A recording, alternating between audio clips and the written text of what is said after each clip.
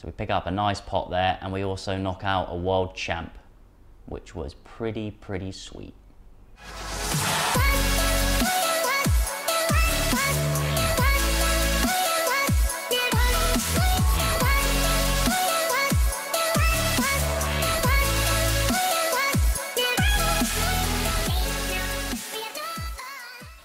I'm off to go and play some tennis tonight without my tennis shoes. I've got my hiking boots for this evening, my swim shorts.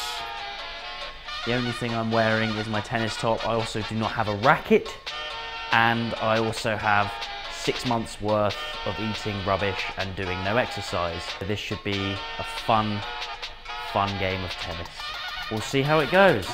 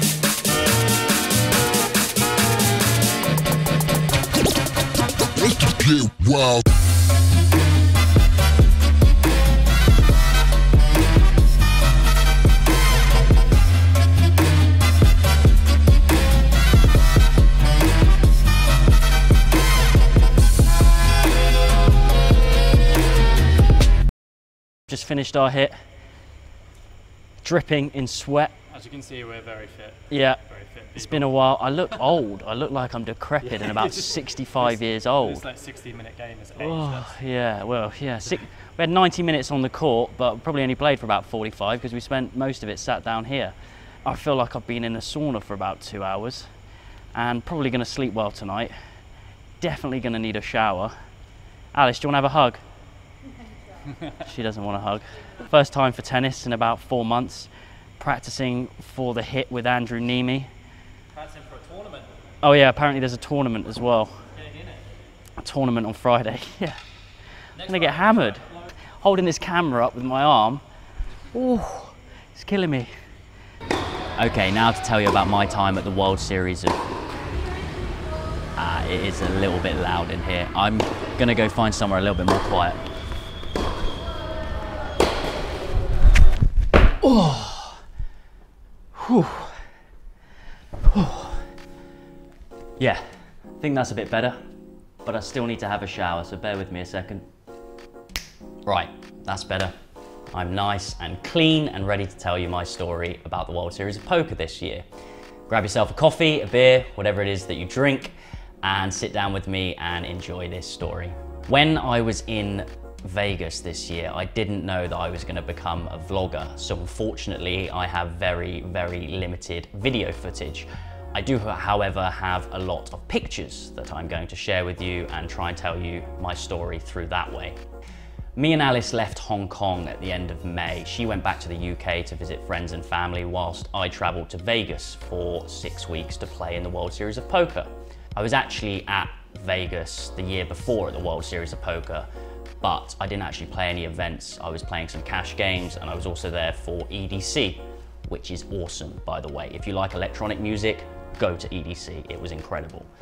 But this year I decided that I wanted to play about eight events I think I played, all sort of low stakes between $500 to $1,500 and it was my first real experience of playing a tournament festival. When I arrived in Vegas, the first bad beat of the trip already hit me. I arrived nice, safe, sound, however my bag did not. Now, when you're a long-term traveler, your bag is your life. It had absolutely everything I needed in my bag. I went to the desk, they said they would contact me and I would get the bag in a few days, which wasn't ideal considering I had nothing on me. Anyway, the first night I stayed in a place called Ellis Island and I was meeting one of my future roommates there. I had rented a house with four other poker players, one of which I had met before, the year before, and the other three I didn't know. Mark, my roommate, he was the one that I stayed with in Ellis Island for one night before we checked into the house. It was quite late when we both arrived, so we didn't do much other than just go to sleep. The next day, however, he woke up, sat on the end of his bed, put on his headphones, and started meditating. Damn. I was thinking, this guy is serious. He's a meditator. I'd done a little bit of meditation at drama school, but not a lot, and I was seriously impressed that he had this routine of meditating every morning, something that I'm trying to get into, something that I'm gonna release a vlog on in the near future. After he had finished his meditation, we went to go and get some great American food. And we went to the Ellis Island restaurant where Mark ordered possibly the biggest steak or slab of meat I've ever seen in my entire life. It was almost as big as my head. Surprisingly, he actually ate most of it. I couldn't believe that he could stomach that. Like that slab of steak would have fed me for a week quite easily. After that, we went to see our house to check into our house for the month. We had booked it for the whole of June. It was a lovely house actually, it was huge. We had a swimming pool in the backyard, we had a foosball table, that didn't work, which was a bit annoying. I had booked into the room to share with Mark because I was on a bit of a budget or still am on a bit of a budget traveling long term and not having a full-time job. But either way, it was a really nice house and the housemates that I had there, they were great. We all got along really well. The house was only about 10 minutes away from the Rio and the Strip in an Uber. So that was quite good, but obviously the expenses were adding up very quickly getting an Uber there and back every day. I think in total I spent in six weeks in Vegas the same amount of money that I spent for the first six months of my traveling in Asia, just to give you an idea of how much money I spent. On day one, I decided to go and play a sit and go, which is a one table sit and go with 10 players around the table. You're playing for tournament tokens to use in the events. It was $275, I think. I actually won the first one for $1,000, which I used towards some of my tournament entries, and it was a great way to start the trip having lost my bag. I'd recommend playing some of these sit and goes if you have a good idea of short stack poker. People really, really don't have a clue. You start with about 20 to 30 big blinds, depending on the entry level that you play. Too many people are limping and raise folding, you basically just need to wait for the first two, three levels and have a good push fold game and you'll definitely print money in those games. On to the first tournament that I played. The tournament that I played first was the Colossus. It was a $565 buy-in. I think they had like six or seven day ones. I can't even really remember, but it was a lot. And I think over 13,000 people entered this tournament. Very, very fast structure it kind of lends more towards my poker game. I used to play a lot of turbo sit and goes online, so my short stacked poker game is very, very good. I unfortunately didn't write any hand histories down for this tournament. I do have some coming up for the future tournaments, but I remember early on one of the hands I had, I had queens in the big blind, under the gun raises, mid position shoves. I slightly covered the under the gun player. We were only about 30 big blinds effective. I reshoved with queens in the big blind, under the gun snaps me off with kings, and I binked a queen on the river. Beautiful. And that kept me in. And once I won that hand, I really thought, actually, I might make a run in this tournament. I can't really remember how many people entered on my day. I think it was about 1,600. They were playing, I think, a, to a certain amount of levels and there was like 60 left on day one and I actually managed to finish day one and I got my first bag, bagging up chips. I'd never bagged chips before in my life. In fact, the $565 buy-in up until that point was the biggest buy-in that I'd actually played in a live tournament setting. I was quite nervous going into it, to be honest, because I really wasn't sure about the standard of players and what they were going to be like, but as soon as I started playing, I realized that there were no better than some of the micro stakes players online, so I felt very comfortable playing. When I bagged my chips at the end, I managed to really mess it up. I put the wrong slip in. For anyone that has been at the World Series of Poker, they know that they give you like three different slips. You're meant to put one in there, you're meant to give one to the dealer, you're meant to keep one for yourself. And I was too excited I had no idea what I was doing, so I put the wrong slip in. They had to give me another bag. It was a bit, bit of a kerfuffle, but fortunately I got there in the end and they took my chips away and I was super excited to play day two. Day two started with 539 players of the 13,000 or so I had a friend back home in the UK who was really, really helpful during this tournament series. Shout out to Robin. He was great. Every time I had a seat draw for a day two or whatever, he would Google Hendon Mob, every single player that I had. We would work out together how many tournaments they'd cashed in, what their kind of biggest cash was, so I could get an idea of the player that I was playing against, whether they were gonna really hold on for money jumps or whether they were gonna be aggressive. So thanks, Robin, that really helped me. After an hour or so of day two, I got moved to a different table and I was sat on the right of Alex Foxen, who has been absolutely beasting tournaments this year. He had a huge stack, like so many chips in front of him. And it was quite intimidating, to be honest, watching him play. Like he had a real good composure about himself and was very, very aggressive. Fortunately or unfortunately, I didn't really get in many spots with him because I just didn't get the hands when he had hands, so I didn't have to play against him too much. The day carried on, and unfortunately I was blinding down quite a lot, didn't pick up any hands. I've actually got a photo of a hand which I'm gonna be honest with you, I have no idea whether I was in the hand or not. I cannot remember, but it looks like on this hand that if I was in the hand, I had pocket fours and I had a straight flush draw on the turn. And I think, to be honest, that was the last photo that I took before the next photo. So I think this was probably my bust out hand. I came in 138th out of 13,070 players in the first tournament, which was around about the top 1% of players or just over. So I was super thrilled. I cashed for $3,754, which was a great start to the trip. What was even better when I got home, my lovely, lovely bag had turned up. So that was two wins in one day. In order to try and keep this as interesting as possible, I'm gonna slightly change location now for part two. All right, part two. The second tournament that I played was the $1,500 Six Max tournament. Now, this was my biggest tournament up to this date. I figured like I play a lot of Six Max online, so I thought I'd be pretty strong in this field, but I also knew that a lot of the higher stakes players would drop down and play this event because it was a great event to play. However, when I sat on my first table, I realized how soft the field was at the World Series of Poker. I didn't have any professional players on my first table. I had five older guys. We were actually all having a pretty good time on the table. They were splashing around chips. I was picking up slowly and chipping up slowly.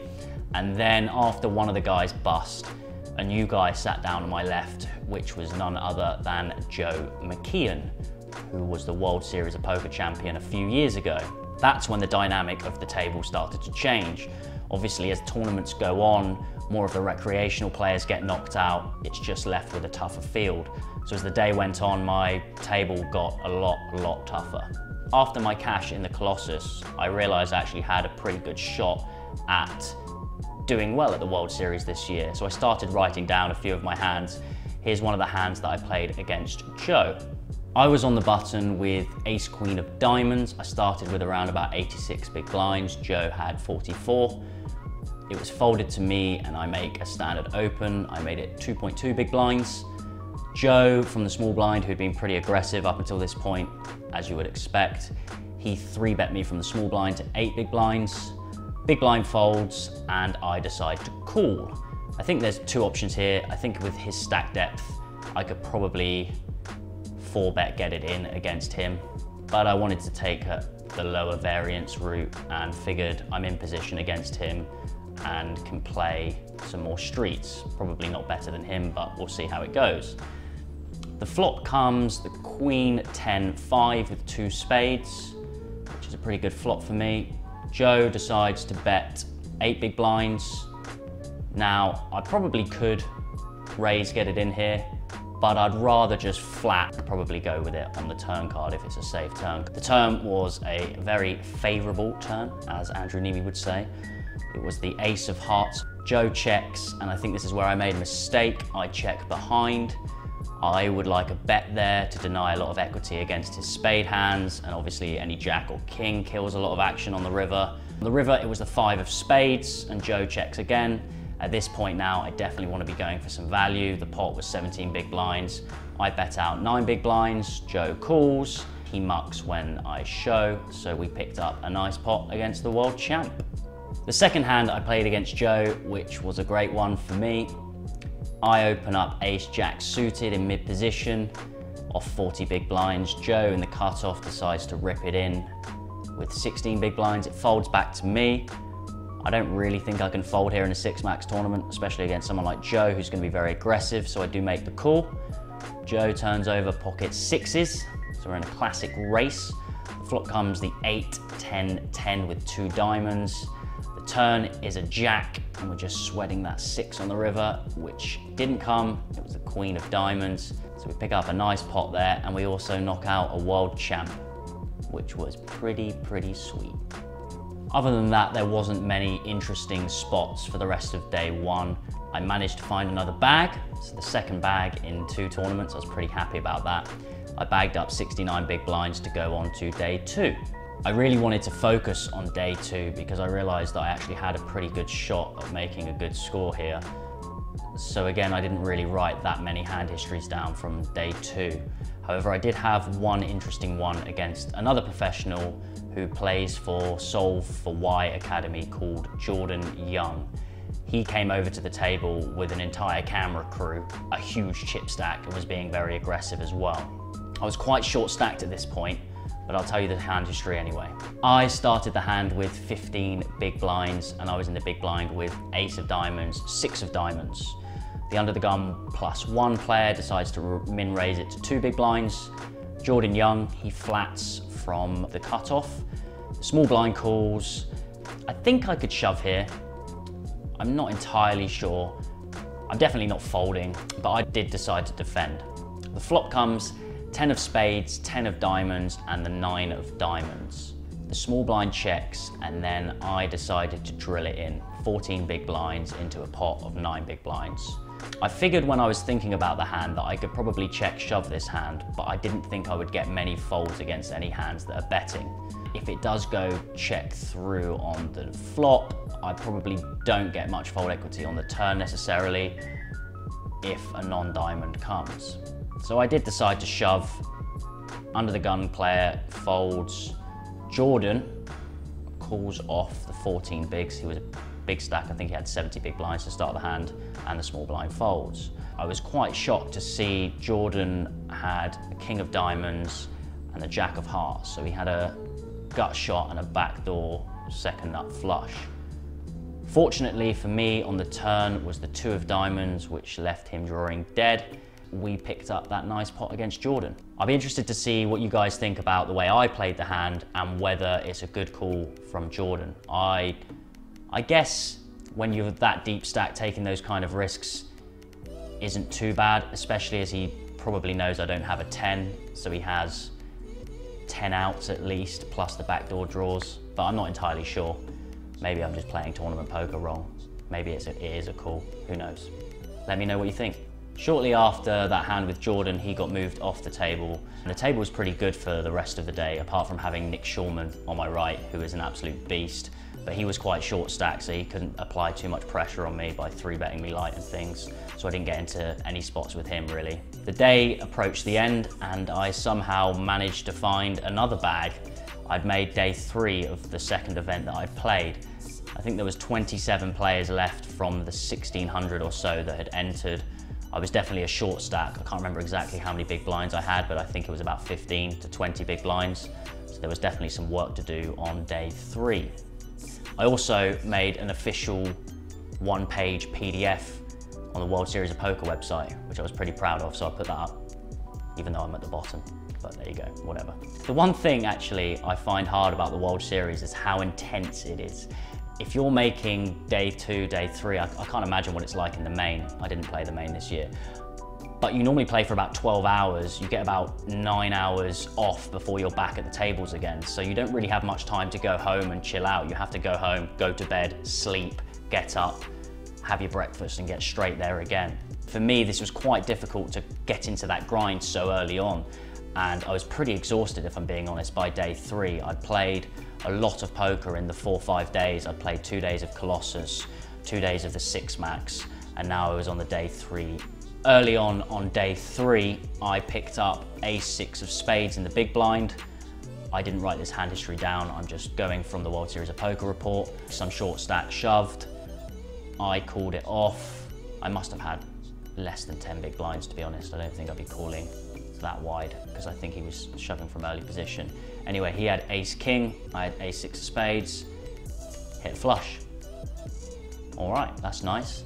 He was pretty pissed off, obviously. I then didn't really make any hands. Other than that, I was still on like 17, 18 big blinds at this point, so I couldn't really do much until I blinded down to about eight big blinds.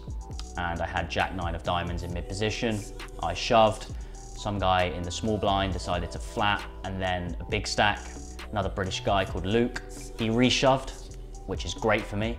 And the small blind decided to fold, so there was extra dead money. He had ace queen off, so I was in a great spot really. I guess I had like 40% or so. Unfortunately, didn't hit a jack, nine, diamonds or a straight, and that was me done in 23rd place. I remember getting home after that tournament and my housemate Gazzy wanted to give me a big hug and make sure I was feeling okay, but I was bouncing off the walls.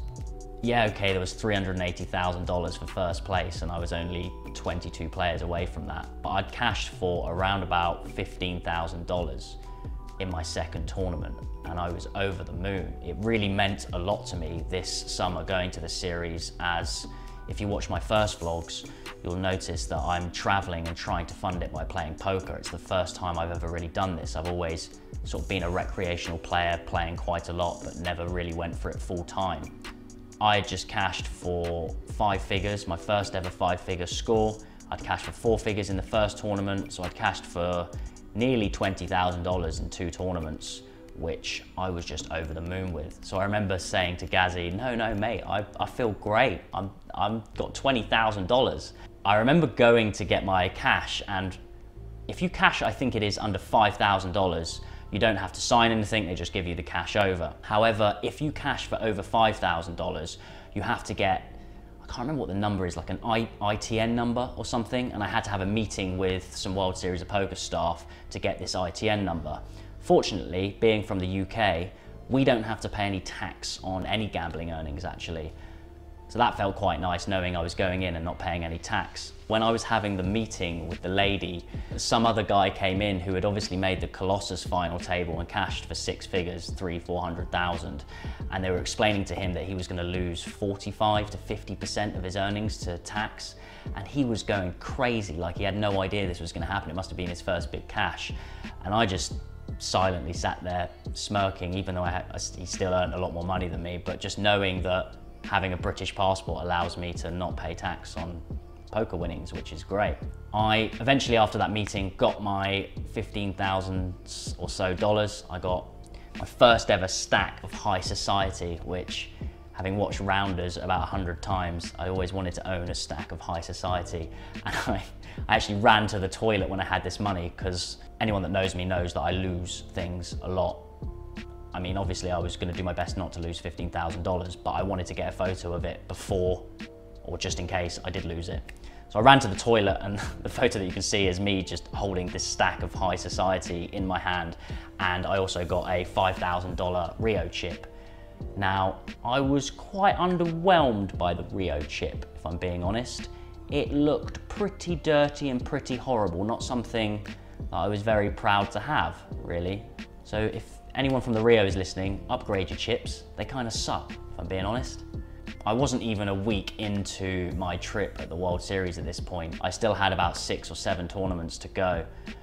I've also just realized this vlog is going on for absolutely ages. I wanted to tell you about my whole time, but I'm gonna have to split this into like two or three parts. So I'm gonna end the vlog here, or part one here, and tell you in the next vlog more about the social stuff that I did in Vegas for anyone that's interested in things to do Although I didn't really do that much other than play poker, to be honest, but there are a few things that I did.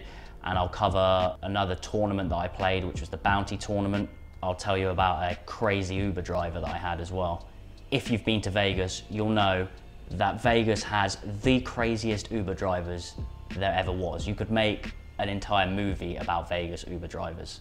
But for now, that's the end of part one. If you like the vlog, please click subscribe. Comment down below, let me know about any of the hand histories, if you would have played them differently, and I look forward to seeing you in part two.